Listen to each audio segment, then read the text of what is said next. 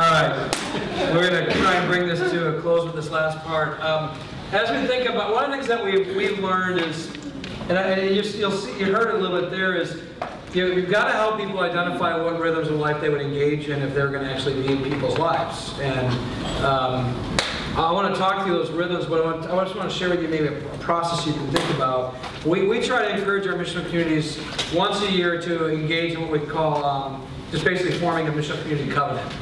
And what they do is they, they basically take what I've shared with you so far, like our identity of family, our identity of missionary, our identity of servant, and they, they kind of just begin to run it through this grid. Um, where they say, okay, this next year, if we're going to love one another like family, what would that look like in everyday rhythms of life? Um, in how we eat and celebrate these things. And, and I want to walk through those rhythms in just a sec with you, but um, it's amazing what people come up with. Like they're actually quite good at coming up with a plan if you give them the opportunity and you don't try to dictate it for them. So I, I remember um, we were having this conversation and we were kind of talking about all three of these, and I found that it's actually helpful to to spend like, okay, we're going to do, a, it can be like a four-week process where we go, let's spend a week reminding ourselves what we believe about the gospel. Then we're going to spend a week reminding ourselves about who we are in Christ as His children and family, and let's talk about how we would then live that out in everyday life. Okay? So, and I, I like to have someone scribe, like, okay, who's going to be taking notes? We'll have someone on the computer and say, okay, let's just talk about the things that we do if we were going to love one another like a family.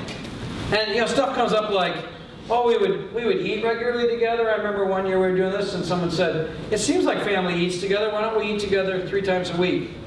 Someone else said, that's a lot. We're not going to be able to pull everybody together three times a week. And someone else said, well, what if we just commit to three kinds of meals a week? One of them is everybody together once a week. Big family meal. Okay. How about it? And then someone else said, what, then what about another meal that's like just with some people in the group? Could be a couple guys getting together for a coffee or a beer, or could be a couple going out on a double day, whatever. But another time we just get together with some people in group. Okay. You're already going to eat 21 meals. Do a few of them together. Uh, and then the third one was, let's be really intentional to have a meal with some people who don't know Jesus and that are part of our mission. Who we're trying to reach out to once a week. So I just said three meals once a week. All right. Uh, then, and we aren't legalistic. It's like, you know, we know that we're all not going to do that perfectly, and that's okay. I remember when we first started doing this, people were like, man, I don't know if we want to do this, because if we say something and we don't do it, then what's going to happen?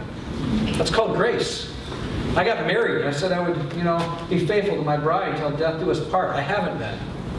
You know, I mean, I haven't cheated on her, just so it's clear. But, but like, there are days when I love myself more than her. There are days when I have thoughts I shouldn't have about other people. I mean, that, that's real. So I say, forget it, I'm not going to get married. There's no way I can uphold that covenant. No, I get married because God is faithful to keep his covenant even when I'm not. And he's faithful to forgive me and be gracious to me even when I fail. And so I make a covenant knowing that I have a covenant keeper in him that can even help me in my failures. That's a beautiful thing. So don't fail to, to, make, to make some distinctions about what you think God's calling you to do because you know you're going to fail.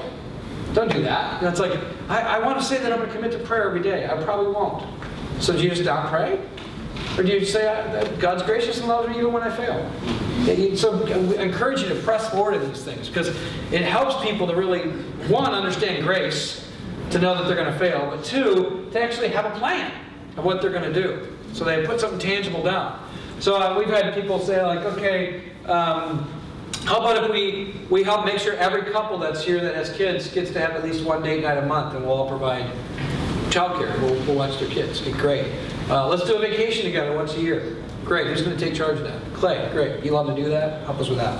And and we just kept going. You're like, well, what what kinds of things did we do? And let's do let, let's let's make sure that um, we always know the needs that any of us have, and we're willing to take care of each other's needs when we when they come up. Let's not be afraid to tell each other our needs.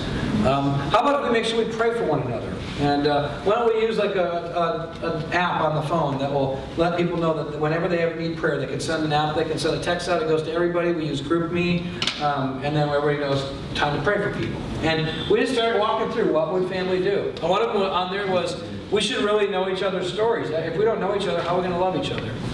So then they said, well, how are we going to know each other's stories? Well, why don't we do a story a week for the next few months so that we all know each other? Great. Then someone asked, what if someone new joins us? Do we have to do all of our stories over again? said no. And someone said, why don't we do this? If someone new joins us, we'll hear their story, and then it's our job to have each one of them over for dinner over the next couple of months, so we'll have a meal with them and we'll share our story with them. Great. Okay, so we just started thinking through it. What's really amazing is like you end up going, this is going to be a great year. We're going to love one another like a family. We're going to learn a lot. We're going to serve each other. We're going to watch each other's kids. We're going to go on vacation together. We're to, this is good. And it's not that hard. You know, it's the stuff that you want to do anyway. Um, and then, then it was like, okay, well, well, how should we be servants? How are we going to show the kingdom of God breaking into this world? And I remember we got to this particular one, and um, we had, some of you know that we've been working on that community garden at Nikki's backyard. And Alyssa and Ian were a new couple that joined our group. And Ian was uh, had dreads, and he, he reminds me, he was kind of like a Rastafarian Northwestern eco guy. You know, he's like all about the environment. He was studying to do environmental uh, work. He had long dreads. He's a really cool guy. I love him. But he's, he's a very fun Northwestern guy. Not following Jesus. Alyssa um, had, was a, a believer, but they both they had been a part of a church, and they started coming to our, our we did a cookout in our backyard all summer long. We, it's pretty normal. Just uh, put put a fire out, kids do s'mores. I love it because a lot of the guys will hang out late and smoke cigars together and all that. And it's amazing what'll happen when you get a bunch of guys out together late at night and they stay together long enough. They start talking.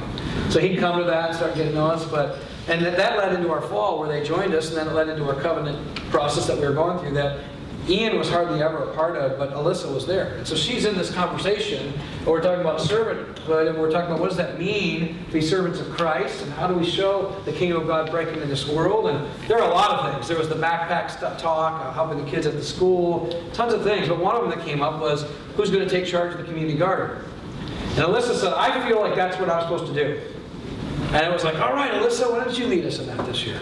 She said, but I can't. I'm too busy. I don't have the time. And we're like, wait a minute. You said you feel like you're called to do that. Yeah, I am. I think I am. But I can't. Well, why not? And uh, she's, by the way, every time, wh- whenever I'm in this pro, I love this covenanting process because every single time I go through it, people have reasons why they can't be involved or things that they're afraid of, or stuff they won't do. And I always say that's the opportunity because that's the gospel flag being waved. Like, I need someone to preach Jesus to me, you know, or I need this community to help me. And so that was her, she was really doing that. Because she knew she felt called to something, but she didn't know how she could do it. And uh, at that point, I remember asking, um, what, why can't you? And she said, well, you know, Ian's going to school full time, he's working a job, I'm working a job, we have two kids, I don't have any time. And one of our guys asked, well, what if you didn't have to work? What if you were freed up from that? She's like, well, how would that happen? It's like, well, how much do you make? And she was pretty new to our community, and she's like, what are you doing? And he said, well, we're just being family. This is what family does. When you feel like you're called to do something but you can't, we want to find out why so we can help you. And she said, well, I'd make, I, I need to come up with another 500 a month. And um, everybody pretty quickly said, well, I think we could all come up with that.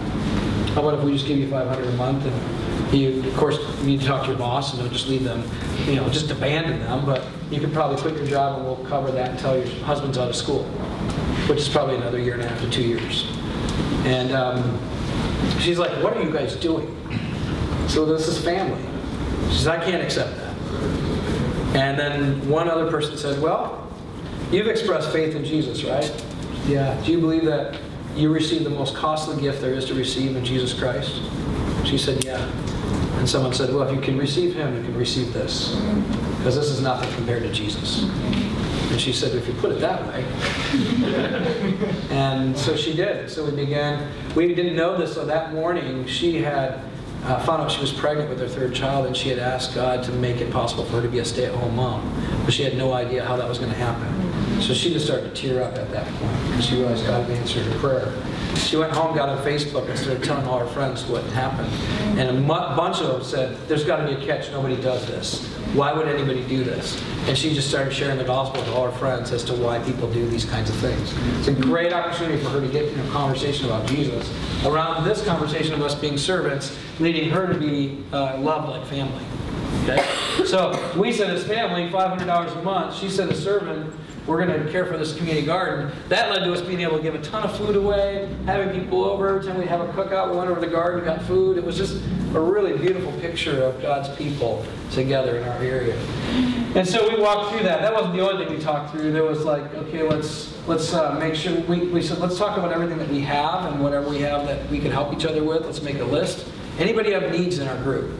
Yes, well, let's make sure we take care of each other's needs. And so we began to talk about, do some people need help with bills once in a while? Do other people, you know, don't know how to budget? We just walked through all the ways we could serve each other. Okay, now what about our school? Where can we serve them? And that's where we said, let's recommit to the auction and helping to lead that so we can raise money for the school and arts education. And, and it just continued that way. And it, it's not that big of a deal. And then we actually talked about Jesus. This is the key. I want to make sure you understand. You cannot say it's missional if you're never going to talk about Jesus Christ.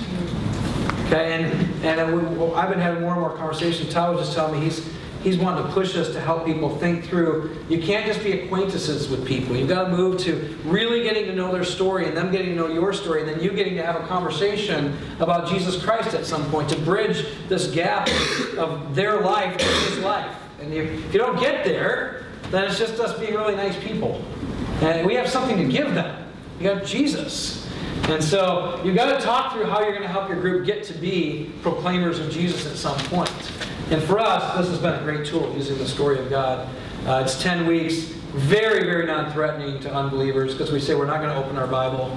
For all the Christians, it shows that you, you find out where they're at on that issue because they're like, what? What are we going to do? We can't do that. It's like, do you know your Bible? Just listen and engage. And it actually scares Christians a little bit because you know we're so people of the book because of the Reformation that anytime you say you're not going to open the book, they think that you're denying the book. And it's like, no, no, we're going to talk about the book. We're just going to do it in a way that's actually transferable because uh, if you can't go talk to people about Jesus without having to open your Bible every time, then you're probably not going to be very effective. It's got to be in your heart. You got to have it in your mind. You got to be ready to give an answer. So so I've learned that it's really good for Christians to go through it, not just non-believers. And it's especially really good for Christians to go through it with non-Christians in the room, because all of a sudden their sensibilities change. They're starting to pay attention to the questions non-believers ask and the way that they struggle, you know, with the story. I remember we, uh, we took a group through it, and I referred to Jim earlier, who was really kind of leaning towards Buddhism. And he, uh, we got through, you know, the first story, the Adam and Eve eating of the fruit of the tree of knowledge of good and evil so that they, you know, they would uh, become like God. He said, I don't see anything wrong with that. Like, isn't, isn't awareness, isn't like, aren't we supposed to be like, like, come to the knowledge of good and evil? And, you know, he started going to a whole, his Eastern uh, religion and started to unpack that with the group. And, and I remember watching our people, they were like, what do we do? What do we do? We don't know how to answer this. Like, is that right? Is that how, is that true? And, uh, and so someone said, wait a minute, let's go back to the story. What did God say? Do not eat from the tree of the knowledge of good and evil. So is it good that they ate of it? And Jim, what do you think? According to the story, did God think it was good that they ate of the tree of the knowledge of good and evil? He said no. According to the story, God said no. Okay, so we're not talking about what we think, we're talking about what God thinks. So we'll stay in that realm through this whole story. You may not agree with that, but we're going to keep going through the story talking about what God thinks about these things. Because we want to, this is His story, not ours. So in that moment, all of a sudden Jim started, we get to form a theology for Jim that you don't get to form God in your image and your preferences. God gets to tell you what, who He is, and we submit to that. So that's a huge point for non for Christians to go like, how do I engage with a non-Christian? Is it okay to definitively say what God says is true? Absolutely. You have to. If you just cave into what everybody else thinks, you got nothing. So that was a training point for all the Christians in the room. What do we do with Jim? what do we do with a guy who doesn't agree? And they got trained while we went through it. Well, Jim came to faith eventually. I loved it because he would be the guy who'd be like, you can't believe that. That's that's not even in accordance with what this says. Do you guys read this? You know, and Jim became like a defender of the faith instead of the one who was like questioning everything. So we got to train him through that. So, so you got to have a plan for this part. Help your group think through how they're going to get to conversations about Jesus at some point. This is where most people don't get to. They just go, we're going to love each other really well and do lots of service projects. They never talk about how are we going to eventually get to Jesus. And there's a lot of ways you can do that. You can say, we're going to go on a retreat, we're going to go on a vacation together, invite all our friends.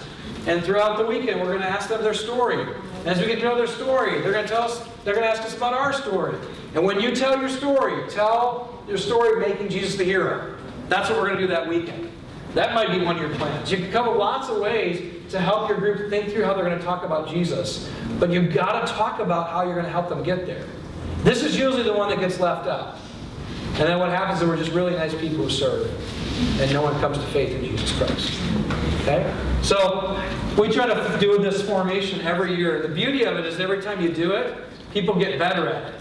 Because they go, last year really was a wasted year. We didn't do so well. Like, that's okay. There's grace for you. Jesus doesn't see any differently. You're still God's children. Okay, how about if we try it again? Can we reform our missional community and reform our covenant and get serious about what we're going to do this next year? And the beauty of that is sometimes people leave the group because they don't want to be a part of it, and that's not bad. I've had people go, I just don't really feel called to this at all. like, okay, that's fine. Can we help you find another one? And then I get to refocus my group. And every year I do that. Now, can you imagine if you get people in your church on a yearly basis making a strategy for making disciples who will make disciples year after year after year? Pretty soon they're going to be really good at this kind of work, and you could go with them and go plant a church someday somewhere else. That's what you want. You want to train them up to own the priority of making disciples who make disciples. Okay? Now I want to walk through the rhythms. Some of you guys know them, but I just want to, I'm going to do it in a bit of a story. Um, some of you may have heard. I'm sorry if that's the case, but it's a really good story that helps you understand it. So before I do that, any questions about the whole covenant forming process? Hey Jeff. Yes. I was talking to Todd about um, having the covenants almost every three or four months because your seasons Yeah. change. That- We're actually shifting to that. Like that's that. Uh, Randy came up with that. So Randy said, "I'm I'm observing that almost every three months, there's we need to refocus it for what's coming next." So I'm like, I'm, I'll see how that goes. I think it's a great idea. Partly because where we're at, you have like your your kickoff in the fall. Ten, at least my experience is, in the Northwest, it's really nice in the summer, and the rest of the year it's just really not. So, so like if you want to meet a whole bunch of non-believers and get them engaged in the community life, your summer months are the best. And for us, that's you know, that's June, July, August. And so, then what we find is that you get with these new people, and so you have to refocus on what you're going to do with them. For us, my experience has been that's a good time to do the story of God, maybe if there's non-believers with you. But then you get to the point where some will come to faith, and you're going, now we've got to form them and talk about what we need to study together. So you might look at January, February, March as forming and establishing new disciples. And then you might go, now let's look at how we're going to use our summer again intentionally. So Randy's trying to encourage us to think every in three month blocks and how we're going to refocus what we do. I think it's a great idea. I don't know that everyone's going to rewrite their covenant every three months, but they might just focus on some unique things. Here's the thing to keep in mind what I just gave you. Th- help your people think seasonally about discipleship. Okay, think seasonally. And what I mean by that is, if I was working with college students, how would I change that rhythm? It'd be very different, wouldn't it? The summer, we, we, they wouldn't be here. So we would be probably doing leadership development and maybe taking uh, a breather on some of the activity on campus and spending more time with the people that are trying to reach the kids on campus, building each other up, encouraging each other, helping them get ready for the next season. But then when fall hits, at least for us, in August, August, September, all the new students are showing up on campus. We probably should be there welcoming them, you know, bringing uh, welcome packages, uh, helping them set up their dorm rooms. Freshman orientation, be there, help the freshmen move in, let them know, hey, we're going to be a family to you. So if you ever want a home cooked meal, we're here. We love to give home cooked meals to college students who are tired of eating college food. So sign up for them. Here's how you can be a part of a home meal, and they're in our homes, and you know, you, and then we're gonna, you know, then you go, okay, what about finals week? Okay, everybody needs like special care packages because they're going nuts, and so you, you let them know you, they can order pizza, and we'll bring it at any time, and we're gonna also give you care packages that like have all kinds of snacks and coffee, and you name it. And if you need a place to get away from the campus for a few hours to take a break, our homes are open. We'll create study uh, places inside of our house where you can just get away from everybody else, and so you know, start building it, you know. And okay, when they're done with finals week, you know what? They all need a break. Let's give them. A, let's take them out to a beach house. and just have a lot of fun out in the ocean. You know, we'll let college students know we'll do that for them. And so you build a rhythm in light of their rhythm, in light of their college year. Uh, in my case, it's very different. We're reaching our kids' school, so yeah, we still follow a school calendar, but the summer is when all the parents and kids can stay out late. So we're doing some Worcester House every week because all the kids are hanging out till 10 at night. And in the Northwest, it's still sunny till 10 at night. So it's a great time. So I got kids running around my house all summer long. That's a lot of fun. And I try, try to, to change our rhythm for that. So think seasonally, think rhythmically, think about who you're, help your people think through how they're, who they're trying to reach. You're reaching a bunch of people who work in business. Just remember, there's tax, well, I don't know how it is for you guys, but like, we have a tax season, and like, when that hits, you're not gonna expect a whole lot from your people. You know, like, they're gonna be working late hours, so what do they need? They need, to maybe after they're done with that, they might need you to start to care for them in different ways. So think through rhythms, think through seasons, think through the, the year that way. Make sense? Yes? Just a quick one, just with your covenants. That's, that's what you just described then, is that a covenant? To- Like you're not. That'd be part of our they're not signing Pieces of paper, are are they? Well, we like, we used to do that more often, not as many are doing a signed thing, because some people like freaked out by that. Yeah. That was funny, because the ours was like, we don't want to sign anything. We're like, well, do you sign a credit card statement? Yeah, that's a contract, you realize? How many times you sign that? Three times a day, okay. You have no problem signing anything. They're like, yeah, we just don't want it. Like, you know those paintings you do, do you put your signature on the bottom of the painting? Yeah. So not, you have a problem with a signature. Why don't you guys pick a, a signature form that would be helpful for you? So it's funny, they're all like, we're gonna do a painting and we're gonna put our fingerprint on it. and It's our sign that we're in. Like, Whatever, I don't really care. Like, I just want you to like, I just want you to commit to each other, you know? Like, like say, can we look at each other and say, yes, for this year, we're in? Whatever that takes, do it your own cultural way. Yeah, do a dance move. I had a graphic designer, he built this whole like rhythmic thing on a, on a, it was beautiful actually. I'm like, that's really cool. He goes, that's our covenant. I'm like, okay, whatever. I don't know how to read it, but it seems like you guys do. So. it was all shapes and designs, and each one meant a different thing. And I'm like, as long as your group knows what it means, that's it. So I think whatever cultural form of saying yes to one another you want to agree in. Maybe it's we're gonna have a big meal together around it once we're done, and we're gonna break. We're gonna make covenant around a meal. I don't know. You know. So I don't know that I'm that concerned about whether they sign a piece of paper. I'm more concerned that they are agreeing together to be this kind of people.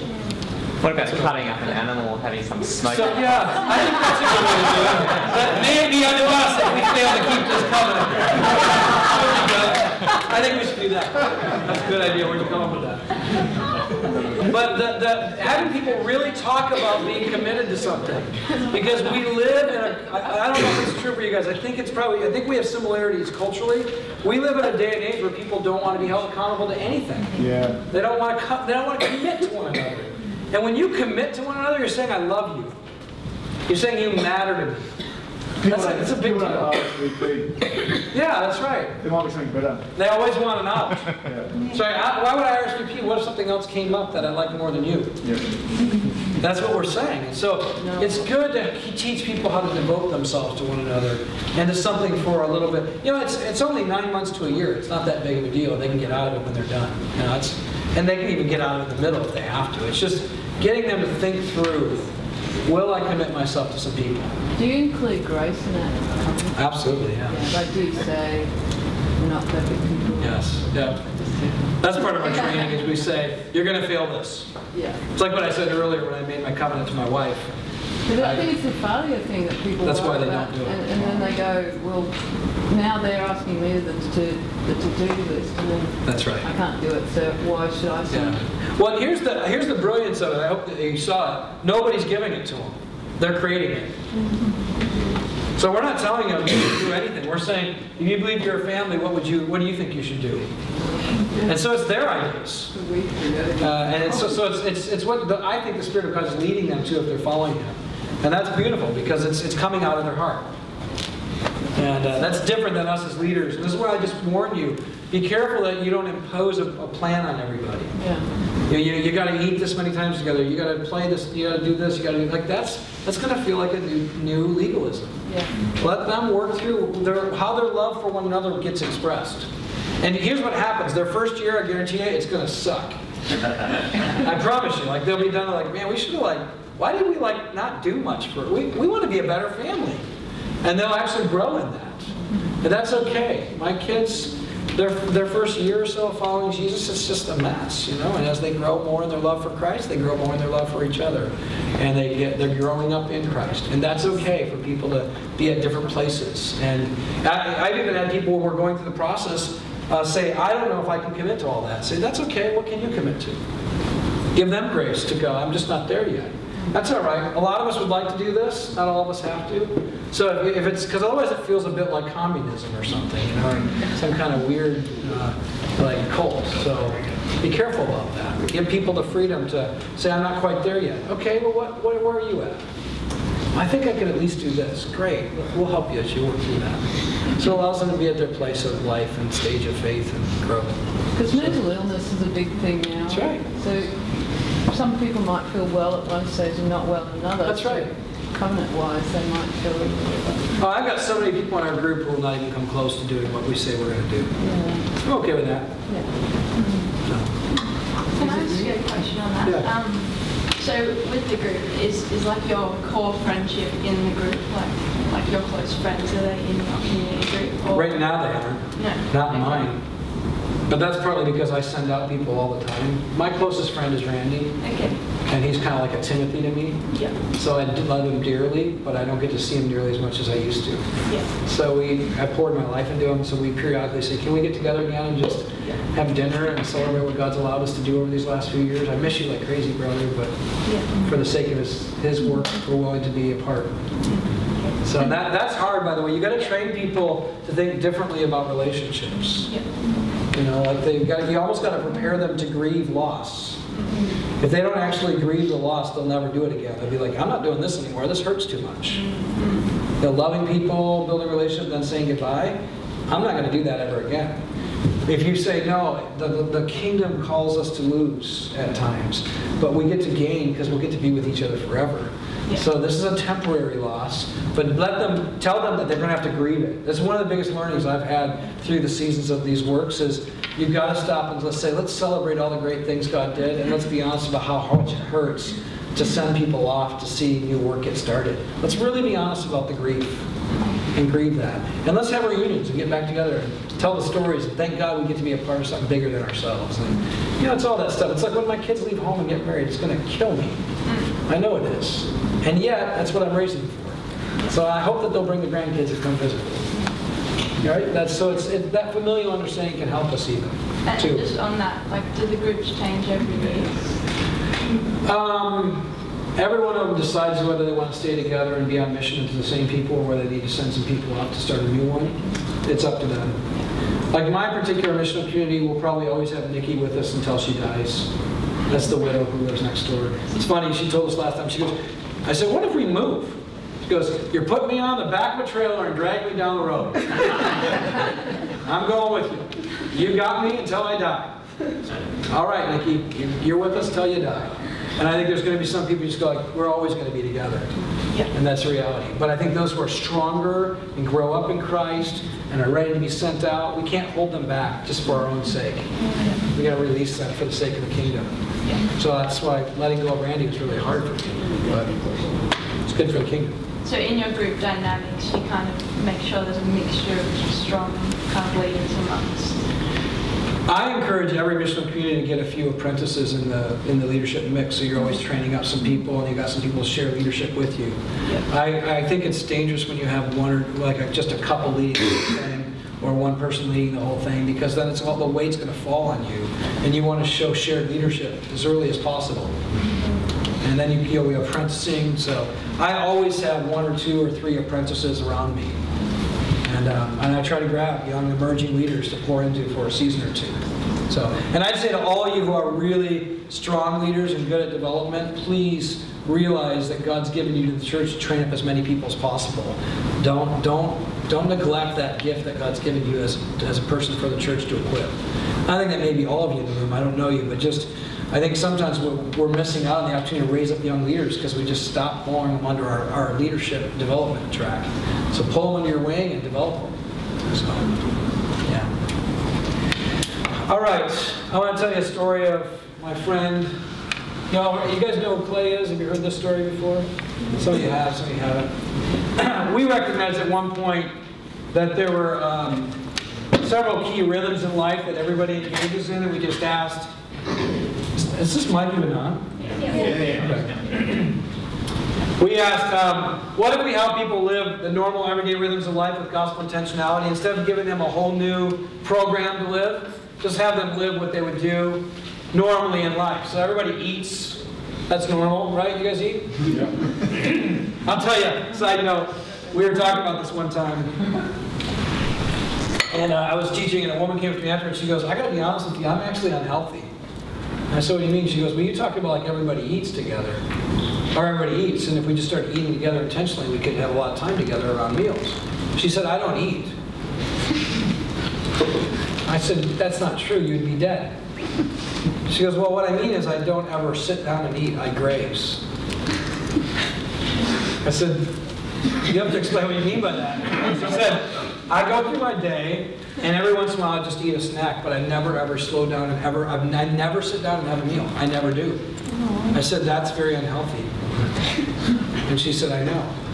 What, what do I do? I said, you of all people need a community.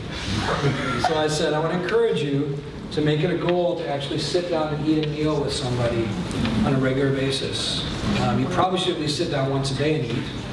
But um, I mean, yeah. I mean, this is like crazy. But here's the thing: the reason why I'm saying it is because you will find that a lot of people do not slow down to eat. They don't. They eat on the fly.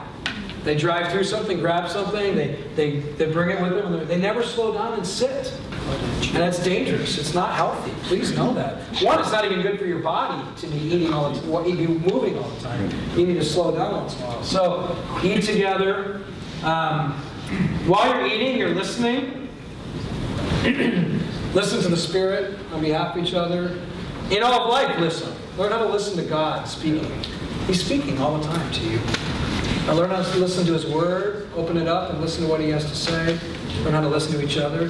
Do you know in North America, I don't know the, how what it's like here, over $100 billion is spent in the United States on counseling.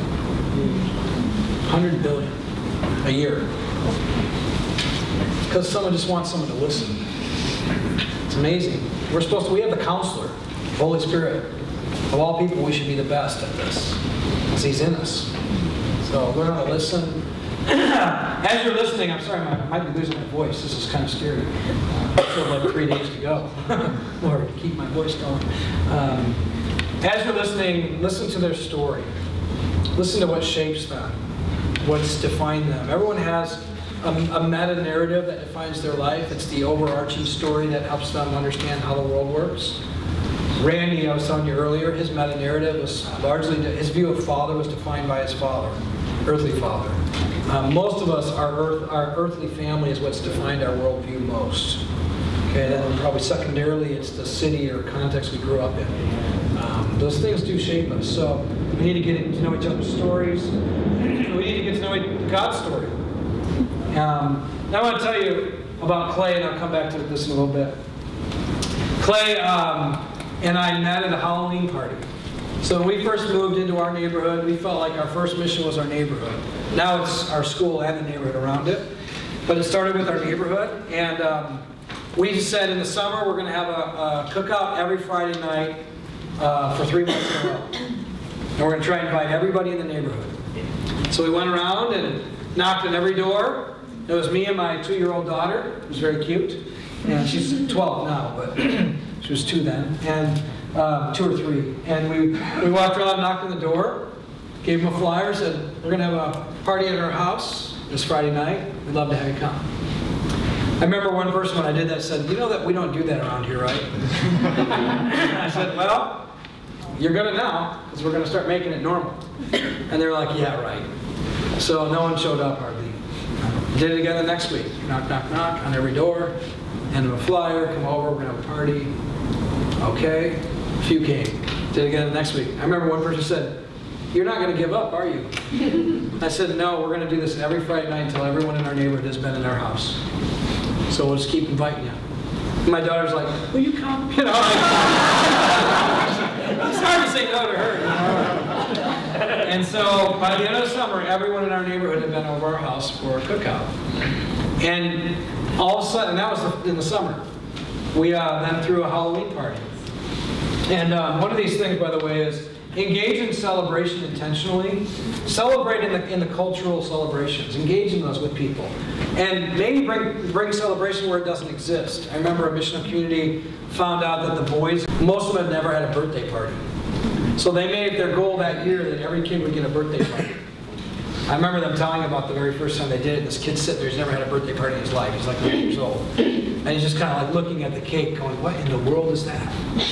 No, that's a cake. It's yours. It's your birthday party. And there's a pile of presents, you know, and he's blown away. Whose are those? Those are yours. And, they went around and they each each person just blessed the kid. They said something that they saw that they appreciated about him. The mom's in the background just weeping because she could never afford this. And they're just blessing her. They did that for every kid on the block. It's a really cool opportunity to just celebrate in such a way um, and, and to really bless people because we've been blessed to be a blessing. And uh, when you think about blessing and celebrate, uh, think about blessing as like God has all, given you all something to give to somebody. If you can help your people realize that everything they have is not just for them, but for others.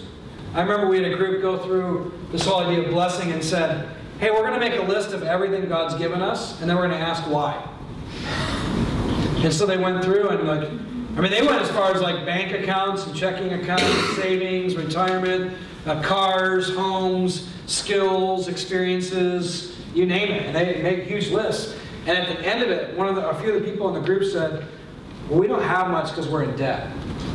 We've gotten into a lot of credit card debt. And a group of people said, well, we have lots of money. You have lots of debt. So why don't we pay it off? And they just paid off the credit card debt. And then they cut the cards and said, you don't know how to use this, so how you know how you we're going to hold on to that. And, uh, but we're blessed to be a blessing. And then, then you go and say, the people we're trying to reach, what do we have that they need? Guaranteed God's given you what they need. More than you realize. But we just haven't taken account of what He's given us. Israel had everything that the people God called them to love needed. He does the same thing for you. He's given you things that people need. Um, some people need parenting training. Some people need budgeting training. Some people need money. Some people need an extra room. Some people need an extra car. Some people need a break. Some people need someone to watch their kids. There's all kinds of things they might need. You ask that question: How can we be blessed to be a blessing? And um, and so we're, we're having this we're having this Halloween party and uh, at my house, and we started kind of just creating an environment for this to happen in our neighborhood. I remember uh, people came over. We had a ba- baked potato bar. Do you guys do Halloween here? No. Okay. Do you know what it is? Yeah. Okay. You do, it, we do, we do it, you do it in the North Shore, we do it in the city. Okay. Where you got a high concentration of Americans, one of them. Oh, the Americans. I love it. That's funny. Uh, so we, we, we had like baked potato bar. People could come in, put chili on it, and you know eat. And I mean, it's amazing because it's one of the only times of the year where people come knocking on your door. So it's an it's an easy in. And uh, we had hot cider out on the porch, and you, you know you get the biggest candy bars you can because then kids ever tell you go to that house they have all the best candy. And so so we do these big Halloween parties, and pretty soon this went on for a year or two. I remember one year. Thank you very much. I remember one year our neighbors across the street said, "You guys always throw the party. Can we throw it?" Amy and Tully. So they throw the big Halloween party, and we're at their house, and Clay and Christy show up, and they're part of our school. We didn't know them though. And Amy says, "Hey, I want you to meet Jeff. He's uh, this pastor I told you about, but he's not like a pastor." That's how she identified me. And uh, and so we're we're having fun, celebrating, eating, and um, Clay and I take all the kids out trick or treating. Okay, because it's rainy, it's a little wet. And so as they're out, I start asking him about his life. I start asking about his his upbringing, where he grew up, and what brought him to the to our city. And he starts telling me about himself. And he was a bit of a kind of a pot smoking hippie in college, and he loved surfing, and and he was kind of like uh, almost like into this weird. Like it's pretty northwestern where I live is like people are into spiritualism, but it's not anything. You know, it's like they like light and dark and energy and so you know they're like yeah I just think there's energy in the world and I'm just trying to tap into it and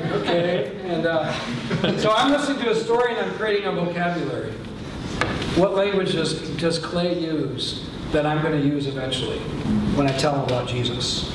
So I'm just listening well, hopefully. And um, we have a great time. I started encouraging him to help us out with the community garden because he loves to get his hands dirty. He told me that, so he starts coming and helping with that. And then he calls me and he says, Hey, my wife and I and the kids are going to go away to the coast for our vacation. You guys want to come with us? Which is really weird where we live because you don't invite people to join you on your vacation if you aren't like super close friends. So I'm like, this is one of those God moments, you know? And uh, one of these other rhythms that we talk about is recreating.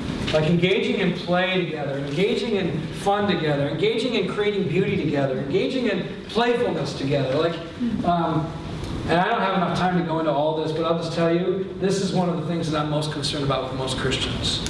They don't know how to rest. They don't know how to play. They don't know how to have fun. It's like we're so works oriented, we don't know how to rest. And the writer, you know, in Hebrews says the Israelites failed to enter their rest because of their unbelief. So the question I'd ask for you is, can you rest? Can you go away? And so they said, hey, it's this weekend. Would you be willing to come with us? And I was supposed to preach that week, so I called our leadership and said, you guys mind if I'm not there? Can someone else step in? And we always said that we're willing to leave the 99 for the one. Here's an opportunity. Of course, they all were like, yes, get out of here. So it's not because I was a bad preacher, I don't think. But um, so we went, we went away for the weekend with Clay and and I was about to walk out the door and grab my computer, and I remember the Spirit of God. And I'm thankfully learning how to listen. Say, do not bring that because you do not need to be working. You need to go rest and play. So we went and hanging out at the beach. Clay goes out surfing. He was he was terrible. I think he's a good surfer, but the it was this horrible surf out of the northwest. You don't get the best out of the ocean there, and uh, he almost drowned. Like, this guy's not gonna make it. And he, he comes in and we're talking about. It. He goes, man. Why do you think I love the waves? I'm like, what do you mean? He goes, I don't know. Like, I, I'm on it. I feel like there's this power there, this energy. And I said, well, just so you know, I, I believe that God created this whole world, and those waves are telling you about what He's like, that He is powerful. And you're feeling the power of God through His creation because He's trying to wake you up and help you realize that He made this to show you what He's like. So I think that's what's going on there. That's why I think you like it because He wants you to be, re- be reconnected to Him. He's like, well, I don't know if that's the case. Right? Here's the thing I give you just a little encouragement on. People don't just walk away and forget those statements. They ruminate on them, they think about it, you're planting a seed. And I'm just creating, a, all I was doing is creating categories to talk about Jesus with eventually. And that was part of Romans 1, right? Exchanging the truth of God for a lie. I could come back to that later. Um, so then time goes on. My wife throws me my 40th birthday party. It's an amazing celebration, a great party. We have a lot of fun. Are you kicking me out? No, he's just sitting down. it's time, Jeff. I know it's close. Um, and uh, amazing celebration. I don't have time to give you all the details, but it was a great party. Christians, you need to learn how to throw good parties. Of all the people that should celebrate well, it's us. You know, and your, your party should be a foretaste of the kingdom. Like what Jesus said, what is the kingdom of God like? A feast, a party. Israel gave a tithe to the party. They're supposed to give a 10% tithe to make the party really good. Christians, when you just go, hey, we're going to have a party, bring a bag of chips. Come on now. Like, we should be able to go like, look at this, it's a feast. And so my wife threw an amazing birthday party for me. They all made fun of me, wore mullet wigs because I used to have a mullet. And, to- they roasted me the whole night. And at the end, they toasted me and put me up front. And people in my mission community knew this is a time to make Jesus the hero. So they, again, we talk about that. How do we bring Jesus up? So they raised the glass and said, Jeff, I want to just let you know I've seen you grow in love for people, and clearly that's the evidence that Jesus is changing you to be a more loving man. And one after another, people said stuff like that. Amy, the one who's across the street from us, who wanted to throw the Halloween party, she's really opposed to all that we're talking about. And she raised the glass. She goes, Jeff, you know I don't believe any of this. I'm like, we know. and she goes, but if I ever became a Christian, I would want to be like you. And she toasted. She said, I want to toast to that. Uh, at the end, I, uh, Clay gets up. He's toward the end. He goes, I don't know what it is, Jeff. Like, I just feel like this energy. It's so funny. I kept using that language. I'm like, this is ridiculous. It's like, it's like this light in you, this energy in you. I don't know what it is, but I just feel drawn to it. Whatever that is, I want to toast it. And then I said, I said, it's my party, I can preach if I want to, so I'm gonna raise a glass. And I want to let you know that what Clay just mentioned, that, that energy he feels, that light he experiences in me, that's Jesus Christ. And he is in me. And, um, and he, he loves you. And I want to tell you, you can't have as good a party as we just had were it not for Jesus. Because Jesus loves to party. And Jesus loves to bring people together that would never be together and help them learn how to celebrate. Because this kingdom is all about being in a party. And I want to let you know that the greatest gift I could ever have is for you to come to know Jesus' love for you. That he died to forgive you of your sins. That he is coming back to throw the best party there ever was. And he wants you to be a part of that. So I want to toast to Jesus because he's really the one that this party's all about.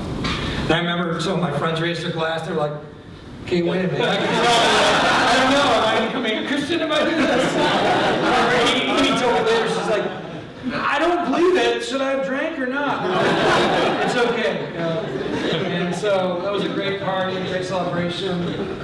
Clay, Clay comes to me later and he, he goes, hey, um, you know where we had that party, that building? You guys meet there once in a while and have a gathering, right? I said, yeah.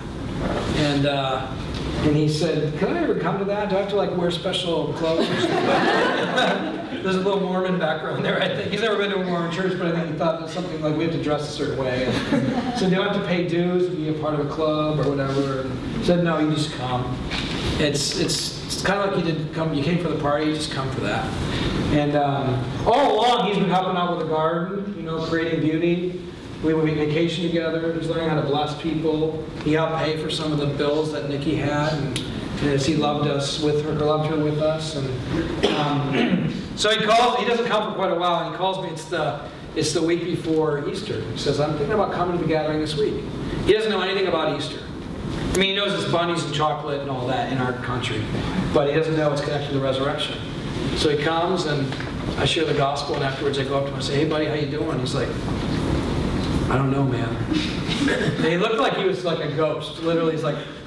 and his wife was just in a puddle of tears. You know, she's just crying. And I found out later she just felt like this, that God had been calling them all along to be here. And um, he was he was a little overcome, and I was afraid I had lost my friend. Now, if you guys have ever been in those situations where you finally go for it, and like I don't know, this could be it. He might walk away. And I didn't know what he was, how he was going to respond. He didn't talk to me, and I said, "Do you want me to give you space?" He's like, "Ah, yeah." So I let him go, and I said, "Well, call me if you need anything." So a couple days later, he calls me. He says, "I believe it." So what do you mean you believe it? He goes, "I believe everything that you said Sunday. I believe Jesus died on the cross for my sins. I believe that He rose again. I believe that He forgave me." I said, "You know that energy that you always talked about? Did you have it?" He goes, "Yeah, I don't know what that is, but I feel, feel something. I don't know what it is. It's God's Spirit." And he's like? "Yeah." He goes, "Man," he goes, "I want. What, what do I do now? Like, how much should I give?" That was awesome. I'm like, there's no new believer class for this thing. He doesn't need it. And uh, partly because we were discipling him in the, in the normal stuff of life, that he didn't need to be taught how to live the normal of life. He was watching us for a year and a half. And it took a year and a half, what I'm telling you. It was a year and a half of being in his life, eating together, celebrating together, blessing together, living just normal life with gospel intentionality in front of him. So the first thing he asked is, how much should I give? Why? Because he saw us being blessed to be a blessing, and now he believed that he was a part of that. So I gave him a little teaching on giving, and right there in the garden, and he said, I want to I want to know how to tell people about Jesus like you've been telling me. And I said, well, all you got to do is tell them your story. Tell them what God did. Tell them how He changed you. Tell them what you used to struggle with. Tell them how you realized that energy and light that you were always looking for was Jesus Christ. I mean, tell them what you experienced. You know, that's what you got to do. And he's like, I don't know if I can do that. I said, you will. I promise you. The Spirit of God will help you. And um, and he said, I don't know, I don't have a Bible. I probably should get one of those. I'm like, yeah, we'll get you one. And you know, it was all those basics in the garden. It was really cool. Like we literally went through all the stuff. Yeah, in about 15, 20 minutes, and they said, well, what do I do next? I said, well, the Bible commands that we baptize you. Because that's your way of saying, I have a new identity. I'm a whole new person. I said, but before we do that, I want you to sit down with the, our group, and we'll have a meal, because I want them to ask you questions about what God did in your life. And so they got to be a part of that, our missional community, over a meal, and he got to express his new faith. And we went down to the ocean and we baptized him. That was really cool. Now, Clay, um, shortly after that, and I know we're almost time, time's up. Um, he um, he found out that he had a mass in his back. Um, and they told him that they were going to have to cut it out and likely he would probably sever his spinal cord and never walk again. And so he said, I'm going to go off surfing maybe for the last time. He went down to Southern California to surf. He was out on the beach and there was these people baptizing people. And he told me, this is really cool pastor I met. His name was Rick. And uh, I said, was it Rick Warren? He goes, yeah. wow, that's pretty funny. I told him all about my story and, uh, and what, you know, what you, how you guys shared Jesus with me. And I got a, a call a couple months later from Rick going, hey, I want to find out what you guys are doing. I was really encouraged by what happened with Clay. So that was really cool. And I said, you don't have any idea who you just talked to. That's, he's, he's kind of a big deal in the church. he doesn't know, you know, it's kind of fun. And um, he comes back and he says, before he's going to go into surgery, it's the night before, he says, will you guys pray over me? Because as far as I've heard from you guys, Jesus heals people. So, can you pray for that? I said, yeah. So his mom was there, was not a believer. She wanted to see this. She's really freaked out by Christianity. So she kind of went into the kitchen and we started praying. And my, I remember my daughter, my youngest daughter, put her hand on his back and she just started praying for him. It was one of, one of my favorite memories of her. She, it's, it's like she had this faith uh, uh, that God could do it. And we pray. I'm sorry that such a key moment in her life. And so we prayed over him, and he went into surgery, and they cut open his back, and it was gone. Nothing was there. And I mean, I loved it about Clay, because like, yep, I knew it. Heal. I love that about you, Clay. Now, here's the deal. He really has strong faith, but when he doesn't, he really is a mess. So I, I don't know what that is. I, I found people that have the gift of faith give into fear really quickly because they either have the fear of the Lord, which leads them to take huge steps, or they give into the fear of something else, which leads them to be paralyzed. And he's kind of goes in and out of that. But we uh, went in to visit him after the surgery, and the guy next to him, Clay was out, and the guy next to him said, who is this guy? Is he like a pastor or something? He said, no, why? He said, all he's been doing is telling me about Jesus. He said, what did he tell you? And the guy rehearsed the gospel. And he rehearsed Clay's story. And Clay woke up. I said, dude, you're doing it. He's like, no, I'm not. I go, yeah, you are. He goes, I don't know how. I said, that's God's Spirit. He gave you words. You didn't even realize you did it. But you're telling people about Jesus to do this. Now, here, here's what I want you to hear. We did not. We never took Clay through a discipleship class. He never went to church services. These guys have to go. They told me they're they're not mad. Um, but yeah, see, you know, what happened was we looked at normal everyday life as the means to make disciples in, so that Clay could come to Jesus without ever coming to a church service, because he was not going to come. Now, at the same time, please hear, he did come to one service, and all that life that he'd seen started to make sense when the gospel got preached in a public setting. So there is value for it. It's just that if we had done all the other stuff, we hadn't done all the other stuff, he wouldn't know that it changes your whole life. He would have just thought of it as a message for your afterlife. What he got to see was people's lives really changed, and then he heard over and over again how it changes their life. And for some reason, I, I shared the gospel probably 20 times with Clay before he came to our Easter service. For some reason, on that public gathering, that's when God chose to make it clear to him. So there's a beauty in gathering together to celebrate the, the resurrection of Jesus Christ on Sunday. Don't downplay that, it's okay. But if you don't do any life together, they're not going to know that being a disciple of Jesus affects all of life. They're just going to think it's a Sunday event.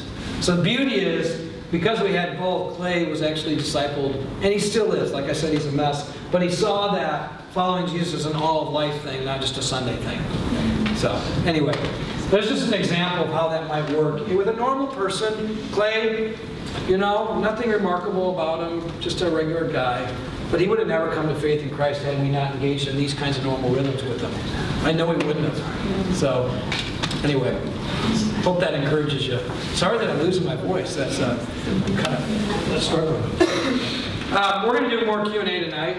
Um, let me encourage you to do this, because I didn't tell you this. Take all the, and then I'll close. Take all the identity statements, like family, missionary, servant, and just kind of walk through a grid. If we are a family, how would we do these things? Eating, listening to God on each other's behalf, knowing each other's stories, celebrating anniversaries and birthdays, holidays, blessing each other with what we have, going on vacations, restoring beauty, creating new stuff together. How do we do that? As missionaries, how do we engage that in a culture of people that are, don't know, yet know Jesus? And then as servants, how do we give embodiment to what Jesus looks like as we do them? Okay, that, that'll help people think about what it means to be God's people and normal everyday stuff. That's a part of what we need to help people with. So, um, normally I take about an hour to do that, we get about a half hour, so hopefully that's helpful. Okay? All right. Thank you. Yeah.